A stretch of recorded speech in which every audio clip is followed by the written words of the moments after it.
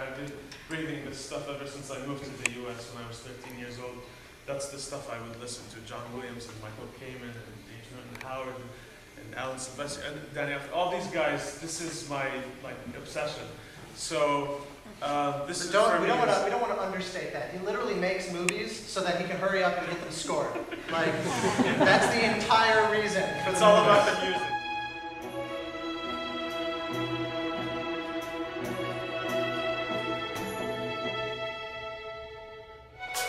Música